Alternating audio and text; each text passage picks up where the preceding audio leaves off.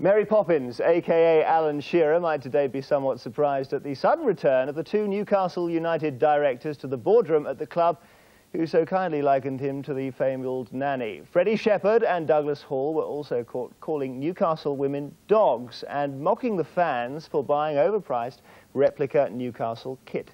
It looks like it's money that is behind the change of mind. The club apparently found it difficult to go on without the two men. It believes it'll win more matches with them.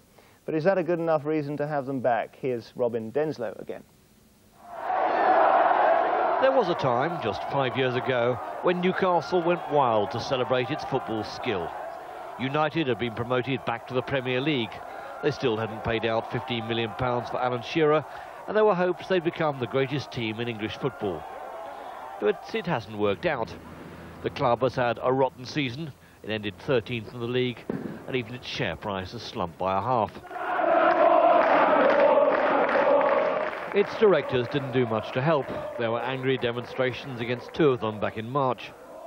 They were forced to resign for calling Tyneside women dogs and mocking supporters for paying so much for merchandising in a newspaper article. And now they're back, and those they'd insulted were none too impressed.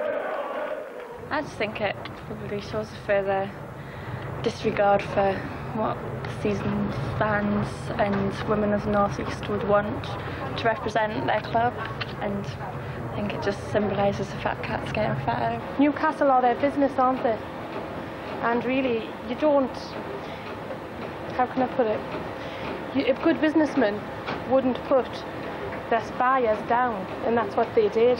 I think they should set some kind of example um, for, the, for the public as well as they, uh, if they want to gain respect from the public, they should basically um, react and they should act in a civilised manner within the confines of Newcastle United. Freddie Shepherd made some silly, decidedly offensive comments, as did Douglas Hall. But should the fans really bother to take any notice? After all, these are businessmen, not celebrities like some of their players. But it seems that fans and management have a special relationship. And I think a marriage is a, is a useful analogy for this relationship. I mean, they are the sponsors of their clubs. They always have been. And of course, that word and the word spouse come from the same Latin origin. And, you know, if, if the relationship breaks down, and I think, you know, respect is the most important element of the relationship between clubs and fans. If that goes just as in a marriage, you know, if you feel that your partner thinks that you're an idiot because you love them so much, it's not going to survive 20 years, is it? The bitter estrangement has been a major story in Newcastle since March. Now, it seems Freddie Shepherd is desperate to try to make up. Today, he gave an interview to the Evening Chronicle. The editor gave her assessment. He's worn his heart more on his sleeve, he's been more emotive. He said, I've been completely stupid, I've made a mistake, I have learnt from it. And I think that will make a little bit of difference to people that he's speaking from the heart. The little Tottenham forwards were never a match in that department for the tall, rangy fellows from the northeast. Football has changed enormously in the last 40 years, and the era when Newcastle inflicted this outrageous 3-0 defeat on Spurs in February 52. Now, in the new world of Newcastle United PLC, and football as big, big business, fans are wise to keep an eye on what's happening in the boardroom almost as much as what's happening on the pitch. But those who control the finances are warned that what they're selling is a very special commodity.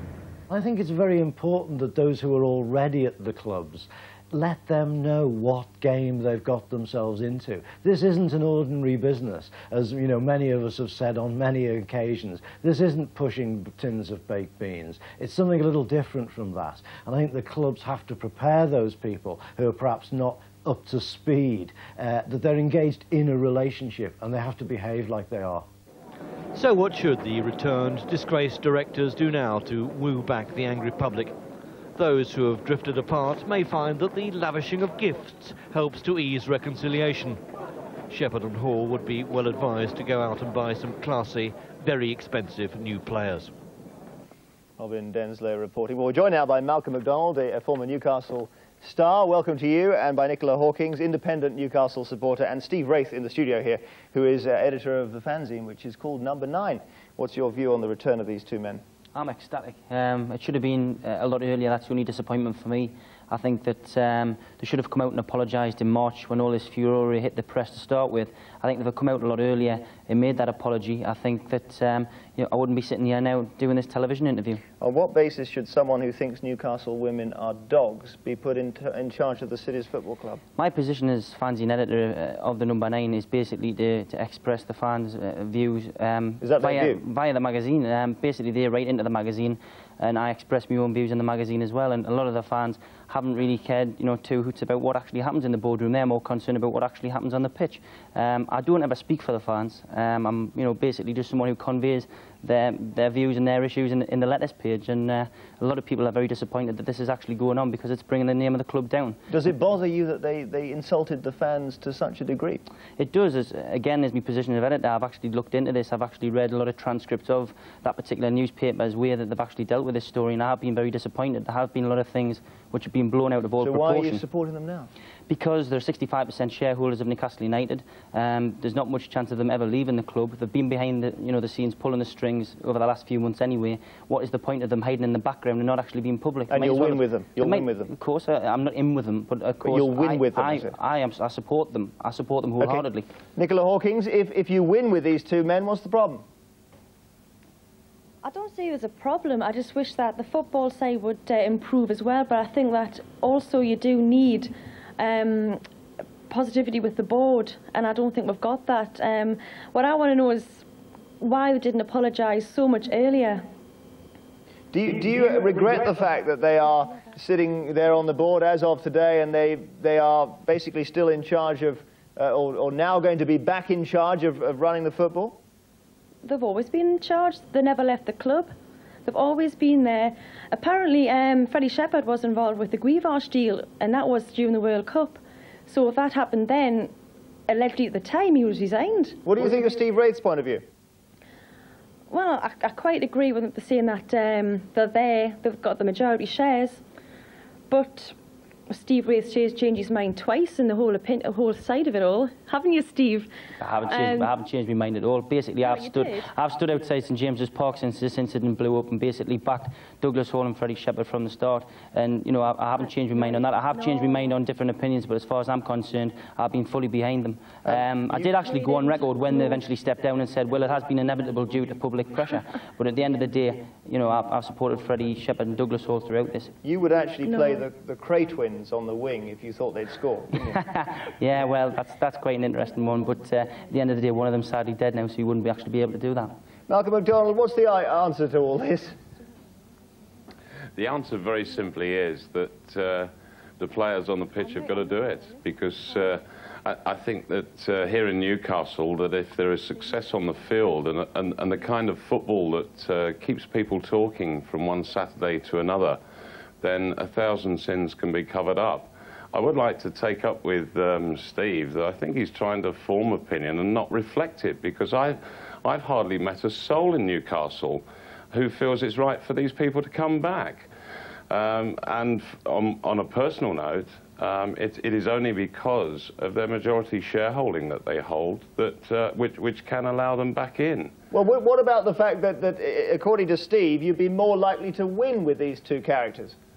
Uh, they don't go out in the field and play. What they can perhaps do uh, is, with a hands-on approach, uh, by actually being on the board of the football club, is that they can personally involve themselves in the right kind of deals that can uh, e- eventually and, and hopefully in the short term bring success on the field for Newcastle United. Steve Wraith? Well, I I always stick with the same opinion. That at the end of the day, these two men have got the financial clout to actually put into the football club.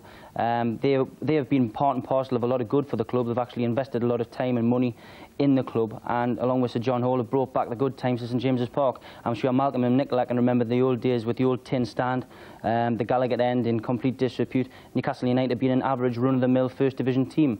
Now we've got a Premiership team which competes with the best in Europe. And as far as I'm concerned, that is part and parcel down to them. We want to remember the good things that Freddie Shepherd and Douglas Hall have done, not just the bad things. Yeah, I'd like to know why we've been the victim of, um, you know, press assassination last season, because not just the Douglas Hall and the Freddie Shepherd incident, the Stevenage affair, the Alan Shearer and Neil Lennon incident. Newcastle United have spent more time on the front pages than the back pages last season, and I just hope that doesn't continue this season because it's very disheartening when you're a fan like myself. Nicola it's, it's difficult to argue against the, the point of view that says if you've got someone who's a centre forward, let's take Gazza for example, He's, uh, he plays in midfield, he scores goals. Um, there's an argument that says if he beats his wife as well, what's the problem? I, I think a player should, um, should always be a role model. And if you're someone like Gazza, Alan Shearer, you've got kids who want to emulate you. You want to you want you should be a role model uh, like children will want to grow up to be like you. Now Alan Shearer is a fantastic role model for children. He's clean living. Now Gazza if he beats up his wife kids may think well that's what I'm supposed to do. If Gazza does it well obviously it's right. Um, not not wanting to have a go at Gazza or anything but that's the example that's being used. And I just think that a, a player or a person in the limelight should act responsibly because people are influenced by them. Okay, thank you all very much indeed. Steve Wraith, Nicola Hawkins, Malcolm Macdonald, thank you for joining us this evening. Thank you.